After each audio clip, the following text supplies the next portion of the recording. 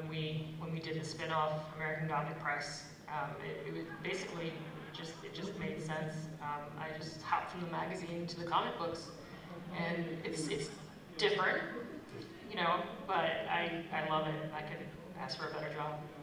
Well, I just want to jump in. Part of the uh, part of the reason I got the nerve to actually do it was uh, because of Holly. She had such an incredible knowledge of uh, bad.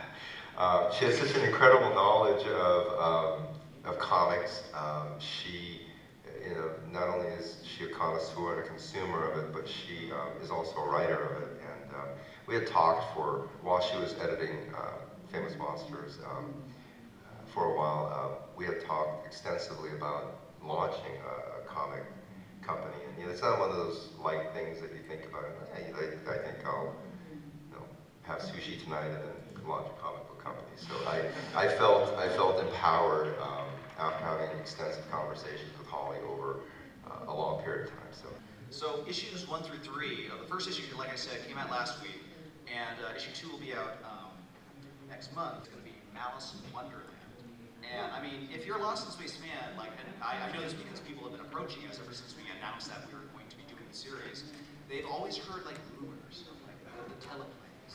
There's something out there, like it, like it was, was stuff of legend at one point. Then Well, it's very interesting because the two, the two uh, teleplays are very, very different. Um, I read both of them first to decide which one to do first. Um, and the, this one, the one that we decided on, Curious Galactics, is was a um, very sort of serious, relationship focused, very dramatic story. Very, very good. And um, then Malice in Wonderland was more of the season three kind of crazy, Great Vegetable Rebellion kind of craziness, you know, with the Dr. Smith being all, you know, oh, fighting and all sorts of weird stuff. So, um, but, but the Curious Galactics um, struck me as something that may have aired in the first season. It was very dark. And yeah, and I, and I wanted to start, I wanted to start with dark.